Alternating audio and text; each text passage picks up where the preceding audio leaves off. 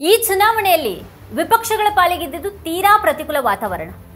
ಚುನಾವಣೆ ಮುಗಿದು ಫಲಿತಾಂಶಕ್ಕಾಗಿ ಕಾಯ್ತಾ ಇರುವಂತಹ ಹೊತ್ತಿನಲ್ಲೂ ಕೂಡ ಅದೇ ಪ್ರತಿಕೂಲ ಸ್ಥಿತಿಯ ವಿಪಕ್ಷಗಳೆದುರಿದೆ ಆದರೆ ಚುನಾವಣೆಯಲ್ಲಿ ಅಂತಹ ಪ್ರತಿಕೂಲ ವಾತಾವರಣದಲ್ಲೂ ಎದೆಗುಂದದೆ. ಬಿಜೆಪಿ ಹಾಗೂ ಮೋದಿ ಎದುರು ಧೀರೋದಾತ ಹೋರಾಟ ಮಾಡಿದ ವಿಪಕ್ಷ ಒಕ್ಕೂಟ ಹಾಗೂ ಅದರ ನಾಯಕರು ಅಭಿನಂದನಾರ್ಹರು.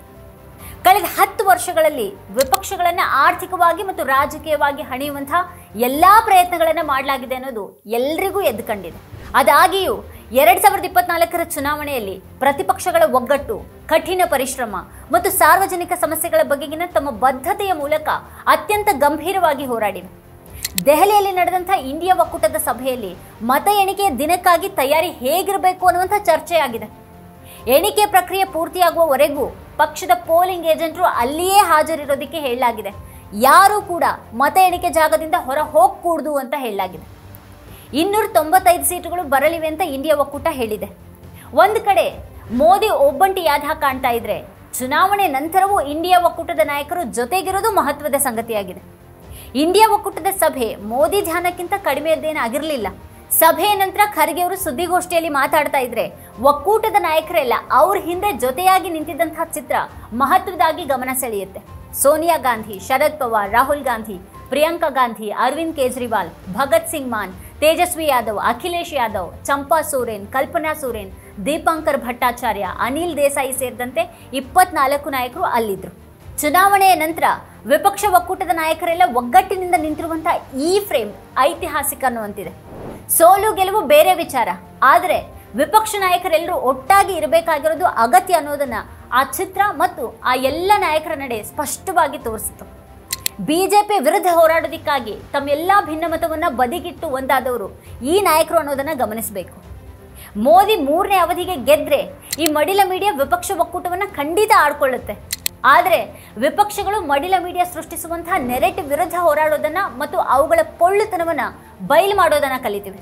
ಜನರಿಗಾಗಿ, ಜನರ ಸಮಸ್ಯೆಗಳ ವಿಚಾರದಲ್ಲಿ ವಿಪಕ್ಷಗಳು ಹೋರಾಟ ಮಾಡಿದ್ವಿ ಹೊರತು ಧರ್ಮದ ಹೆಸರಿನಲ್ಲಿ ಜನರನ್ನು ಮರಳು ಮಾಡಿ ಮತ ಕೇಳೋದಕ್ಕೆ ಅವು ಹೋಗಲಿಲ್ಲ. ಒಂದು ಕಡೆ ಮೋದಿ ಮುಸ್ಲಿಂ ದ್ವೇಷ ಹರಡೋದ್ರಲ್ಲಿ ತೊಡಗಿದಾಗ ಮುಸ್ಲಿಮರ ವಿರುದ್ಧ ಹಿಂದೂಗಳನ್ನು ಎತ್ತಿ ಕಟ್ಟುವಂಥ ಕೆಲಸ ಮಾಡ್ತಾ ಇದ್ದಾಗ ವಿಪಕ್ಷಗಳು ಜನರ ಸಮಸ್ಯೆಗಳನ್ನು ಎತ್ತಿ ಚುನಾವಣಾ ವಿಷಯವಾಗಿಸಿದ್ವು. ಬಿಜೆಪಿ ಮತ್ತವರ ಜನ ಎಕ್ಸಿಟ್ ಪೋಲ್ ಬಗ್ಗೆ ಸಡಗರ ಪಡ್ತಾ ಇರುವಾಗ ಇಂಡಿಯಾ ಒಕ್ಕೂಟ ಜನಪರ ಹೋರಾಡುವ ತನ್ನ ನಿರ್ಧಾರವನ್ನು ಪುನರುಚ್ಚರಿಸ್ತಾ ಇದೆ. ಜನರಿಗೆ ಸತ್ಯ ಹೇಳಬೇಕಾಗಿರುವಂಥ ಜರೂರಿನ ಬಗ್ಗೆ ಇಂಡಿಯಾ ಒಕ್ಕೂಟ ಯೋಚನೆ ಮಾಡ್ತಿತ್ತು. ಇಂಡಿಯಾ ಒಕ್ಕೂಟ ಹೇಳ್ತಾ ಇರುವಂಥ ಇನ್ನೂರ ತೊಂಬತ್ತೈದು ನಂಬರ್ ನಿಜವಾಗುವುದಾ ಅನ್ನೋದು ಜೂನ್ ನಾಲ್ಕರಂದು ಗೊತ್ತಾಗಲಿದೆ. ಅದೇನೇ ಇದ್ರೂ ಈ ಸಲ ಕಾಂಗ್ರೆಸ್ ದೊಡ್ಡ ಗೆಲುವಿನ ವಿಶ್ವಾಸದಲ್ಲಿದೆ ಅನ್ನೋದು ಬಹಳ ಮುಖ್ಯ. ಕಳೆದ ಎರಡು ಚುನಾವಣೆಗಳಲ್ಲಿ ಅದು ಇಂಥ ವಿಶ್ವಾಸವನ್ನು ಹೊಂದಿರಲಿಲ್ಲ. ಈ ಸಲ ವಿಪಕ್ಷಗಳೆದುರು ಇದ್ದಂಥ ಸವಾಲುಗಳೇನು ಸಾಮಾನ್ಯವಾದವುಗಳಾಗಿರಲಿಲ್ಲ. ಅವೆಲ್ಲವನ್ನ ಮೆಟ್ಟಿ ನಿಂತು ಚುನಾವಣೆಯಲ್ಲಿ ಅವು ಹೋರಾಡಿವೆ. ವಿಪಕ್ಷಗಳು ಹತಾಶವಾಗಿವೆ. ಅವು ಜೊತೆಯಾಗಿ ಹೋಗೋದು ಕೂಡ ಕಷ್ಟ ಅನ್ನುವಂತೆಯೇ ಶುರುವಿನಲ್ಲೇ ಕಾಣಿಸ್ತೊಡಗಿತ್ತು. ಪಿಯವರು ಅದ್ರ ಬಗ್ಗೆನೇ ಆಡ್ಕೊಂಡಿದ್ದು ಇತ್ತು. ವಿಪಕ್ಷಗಳು ಚುನಾವಣೆಯಲ್ಲಿ ಹೋರಾಡೋದಕ್ಕೆ ಆಗದಂತಾಗತ್ತೇನೋ ಎಲ್ಲರನ್ನ ಜೈಲಿಗೆ ಕಳಿಸಲಾಗತ್ತೇನೋ ಅನ್ನುವಂಥ ಸಂಶಯ ಕೂಡ ಕಂಡಿತ್ತು. ವಿಪಕ್ಷಗಳನ್ನು ಹಣಿಯೋದೇನೋ ಸುಲಭ ಇರಬಹುದು, ಆದರೆ ವಿಪಕ್ಷಗಳಿಲ್ಲದೆ ಹೇಗೆ ಪ್ರಜಾಪ್ರಭುತ್ವ ಅರ್ಥಪೂರ್ಣ ಆಗೋದಿಕ್ಕೆ ಸಾಧ್ಯ? ವಿಪಕ್ಷಗಳು ಕಡೆಗೂ ಎಲ್ಲ ಆತಂಕಗಳನ್ನು ದಾಟಿಕೊಂಡು ಯಾವುದು ಸಾಧ್ಯ ಇಲ್ಲ ಅಂತ ಅನಿಸುತ್ತೋ ಅದನ್ನು ಸಾಧ್ಯವಾಗಿಸಿ ತೋರಿಸಿದ್ರು.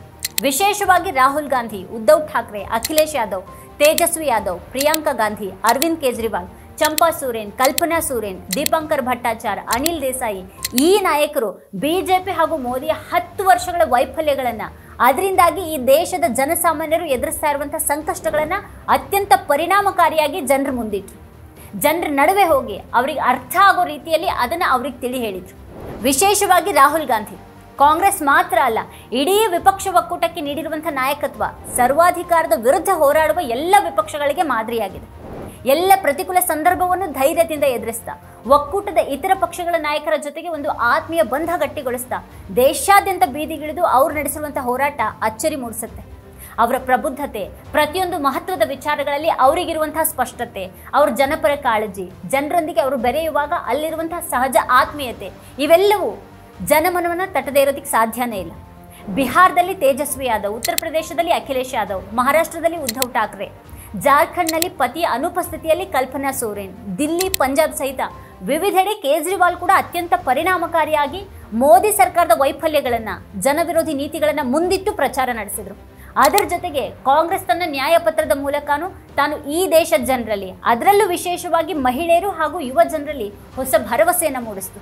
ಸಮೀಕ್ಷೆಗಳೇನು ಎನ್ ಡಿ ಎ ಗೆಲುವಿನ ಬಗ್ಗೆ ಹೇಳ್ತಾ ಇವೆ. ಆದರೆ ಮೋದಿ ಒಕ್ಕೂಟದ ಸದಸ್ಯರು ಎಲ್ಲೂ ಕಣ್ಣಿಗೆ ಬೀಳ್ತಾ ಇಲ್ಲ. ವಿಪಕ್ಷಗಳ ಹೋರಾಟಗಳಲ್ಲಿ ಚುನಾವಣಾ ಆಯೋಗದ ಜೊತೆಗಿನ ಹೋರಾಟ ಕೂಡ ಒಂದಾಗಿತ್ತು. ಹಲವು ಉಲ್ಲಂಘನೆಗಳ ಬಗ್ಗೆ ಕಾಂಗ್ರೆಸ್ ನೀಡಿದಂಥ ದೂರುಗಳ ಬಗ್ಗೆ ಮೋದಿ ವಿರುದ್ಧದ ದೂರುಗಳ ಬಗ್ಗೆ, ಆದಿತ್ಯನಾಥ್ ವಿರುದ್ಧದ ದೂರುಗಳ ಬಗ್ಗೆ ಆಯೋಗ ಯಾವ ಕ್ರಮವನ್ನು ತೆಗೆದುಕೊಳ್ಳಲಿಲ್ಲ ಅನ್ನೋದು ಕಾಂಗ್ರೆಸ್ ದೂರು. ಮತದಾರರ ಪಟ್ಟಿಯಿಂದ ದೊಡ್ಡ ಪ್ರಮಾಣದಲ್ಲಿ ಹೆಸರುಗಳು ನಾಪತ್ತೆಯಾದುದು ಈ ಸಲದ ಬಹಳ ದೊಡ್ಡ ಸವಾಲಿನ ಸಂಗತಿಯಾಗಿತ್ತು. ಹಾಗೆ ಎಷ್ಟು ಜನರ ಹೆಸರು ಮತದಾರರ ಪಟ್ಟಿಯಿಂದ ನಾಪತ್ತೆಯಾಗಿದೆ? ಎಷ್ಟು ಜನರಿಗೆ ಮತ ಹಾಕೋದಕ್ಕೆ ಅವಕಾಶವಾಗದೇ ಹೋಗಿದೆ ಅನ್ನೋದನ್ನ ಚುನಾವಣಾ ಆಯೋಗ ಹೇಳಬಹುದಾ? ಮತ ಹಾಕೋದಕ್ಕಾಗಿನೇ ಆಸ್ಟ್ರೇಲಿಯಾದಿಂದ ಬಂದಂಥ ಒಬ್ಬ ದಂಪತಿ ಇಲ್ಲಿಗೆ ಬಂದ್ರೆ ಮತದಾರರ ಪಟ್ಟಿಯಲ್ಲಿ ಅವ್ರ ಹೆಸರೇ ಇರಲಿಲ್ಲ. ಹೀಗಾಗೋದನ್ನು ತಪ್ಪಿಸೋದಿಕ್ಕೆ ತಪ್ಪಿತಸ್ಥರಿಗೆ ಕನಿಷ್ಠ ಶಿಕ್ಷೆಯಾದ್ರೂ ಆಗ್ಬೇಕಾಗಿದೆ ಅಂತ ಹೇಳ್ತಾರೆ ಕಪಿಲ್ ಸಿಬಲ್ लोकतंत्र में एक ही हक सेक्रेड होता है अकॉर्डिंग टू मी मत देना उस मत के आधार पे अ, सरकारें चुनी जाती हैं प्रत्याशी चुने जाते हैं अगर उसमें कोई धांधलेबाजी हो उसका कोई उल्लंघन हो किसी की वोट डिलीट कर दो आप और वो हक छीनना किसी का मिनिमम सजा तीन साल होनी चाहिए ವಾರಣಾಸಿಯಲ್ಲಿ ಮೋದಿ ಎದುರಾಳಿಯಾಗಿರುವಂತಹ ಕಾಂಗ್ರೆಸ್ನ ಅಜಯ್ ರಾಯ್ ಪ್ರತಿ ವಿಷಯವನ್ನ ಎತ್ತಿ ಮೋದಿ ವಿರುದ್ಧ ವಾಗ್ದಾಳಿ ನಡೆಸ್ತಾ ಇದ್ದುದು ಸಣ್ಣ ಸಂಗತಿ ಆಗಿರಲಿಲ್ಲ ಈ ರೀತಿ ವಿಪಕ್ಷಗಳು ಚುನಾವಣಾ ವಿಷಯಗಳನ್ನಾಗಿ ಎತ್ತಿಕೊಂಡ ಜನರ ಸಮಸ್ಯೆಗಳನ್ನು ಮುಖ್ಯವಾಗಿಸಿಕೊಂಡೇ ಬಿಜೆಪಿಯ ವಿರುದ್ಧ ಹೋರಾಟಕ್ಕೆ ಇಳಿದಿದ್ವು ಅದರಲ್ಲಿ ಅವು ದೊಡ್ಡ ಮಟ್ಟದ ಗೆಲುವಿನ ವಿಶ್ವಾಸದಲ್ಲಿವೆ ಅದರ ಹೊರತಾಗಿಯೂ ಅವುಗಳ ಬದ್ಧತೆಯ ವಿಚಾರದಲ್ಲಿ ಯಾವುದೇ ವ್ಯತ್ಯಾಸ ಆಗೋದಿಲ್ಲ ಅನ್ನೋದು ಅವು ಚುನಾವಣೆಯ ನಂತರವೂ ಎದುರಿಸ್ತಾ ಇರುವಂತಹ ಒಗ್ಗಟ್ಟಿನಲ್ಲಿ ಅರ್ಥ ಆಗುತ್ತೆ ಮತ್ತದು ಸರ್ವಾಧಿಕಾರಿಯ ಅಹಂಕಾರ ಕಂಪಿಸುವ ಹಾಗಾಗೋದಕ್ಕೆ ಅಗತ್ಯವಾಗಿ ಬೇಕಾದದ್ದಾಗಿತ್ತು. ಆ ಅರ್ಥದಲ್ಲಿ ವಿಪಕ್ಷಗಳು ಖಂಡಿತವಾಗಿಯೂ ಗೆದ್ದಿವೆ. ಇದೆ ಈ ಹೊತ್ತಿನ ಸ್ಪೆಷಲ್ ನೋಡ್ತಾ ಇರಿ ವಾರ್ತಾ ಭಾರತಿ. ನೀವಿನ ವಾರ್ತಾ ಭಾರತಿ ಯೂಟ್ಯೂಬ್ ಚಾನಲ್ಗೆ ಸಬ್ಸ್ಕ್ರೈಬ್ ಆಗಿಲ್ಲ ಅಂದರೆ ಕೂಡಲೇ ಸಬ್ಸ್ಕ್ರೈಬ್ ಆಗಿ ಹಾಗೆ ಅಲ್ಲೇ ಪಕ್ಕದಲ್ಲಿರುವ ಬೆಲ್ ಐಕಾನ್ನ ಪ್ರೆಸ್ ಮಾಡಿ.